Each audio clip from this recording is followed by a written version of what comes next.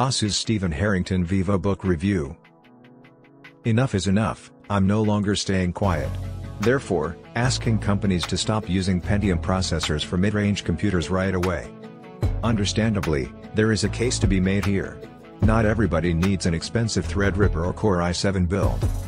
A lot of people just want to watch YouTube or stay active on Twitter and they could save money and finance a better screen, nicer build, and additional features if they opt for a cheaper CPU. That's great if you belong to that subset.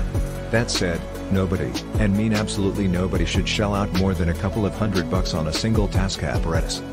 In view of the fact that a $360 Chromebook Duet can access the web just as efficaciously. The advantage a Windows laptop holds over these devices, besides the larger monitor, is that it can better service multitasking and work with its Windows operating system. It is viable for more robust programs, optimizing app windows and files is easier, plus it has enough computing power to manage multiple jobs concurrently. So when you pay more than let's say $800 for something that will always only offer one window at once, realize you are making a mistake. The Asus VivoBook 13 Slate OLED Steven Harrington Edition, which is named after the LA-based artist, is one of the most stylish computers I've reviewed this. The Pentium processor functions best when you are only running one program at a time. The VivoBook 13 Slate Steven Harrington Edition is a collaboration between Asus and an artist.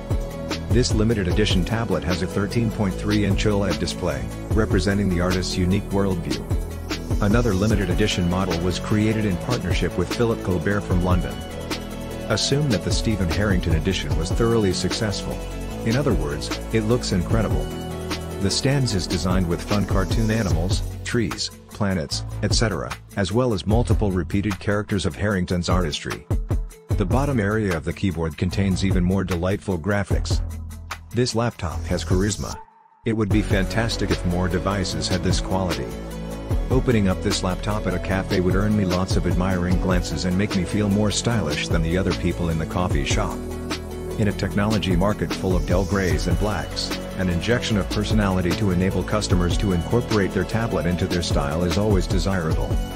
With the Pentium Silver N6000, 8GB RAM, and 256GB storage, the VivoBook 13 Slate model costs significantly less than both the 12.9-inch iPad Pro and Surface Pro 9. Plus, this device has an eye-catching design along with a kickstand that can be adjusted in various directions. In addition, there are few if any 13-inch laptops, especially at under $1,000, that boast an OLED screen as the VivoBook does. The Intel Pentium Silver N6000 is not an outstanding processor by any means it doesn't conserve battery life well. From my experience, it gives only approximately 5 hours of consecutive usage with many Chrome tabs, Slack, and Spotify works intermittently at typical brightness and it does poorly in executing tasks as well.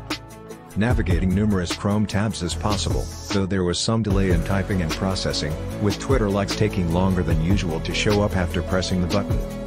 Once attempted to use my Pentium for different tasks, ran into obstacles. Growing restless as clicked through the settings app, painting in Paint went smoothly. But Whiteboard struggled and Slack began dragging when it shared space with Chrome tabs. It further lagged behind in updating and responding to clicks, which often took multiple seconds when switching channels. As soon as the VivoBook started downloading Windows updates from the Microsoft Store, all other activities came to screeching halt programs were freezing regularly making the device nearly unusable. Boot time was sluggish in general, so more often than not found myself stalled by staring at the Steven Harrington logo on screen when turning it on. All in all, it is basically a small TV that can be used for YouTube and Netflix, as well as Twitter. However, if you are looking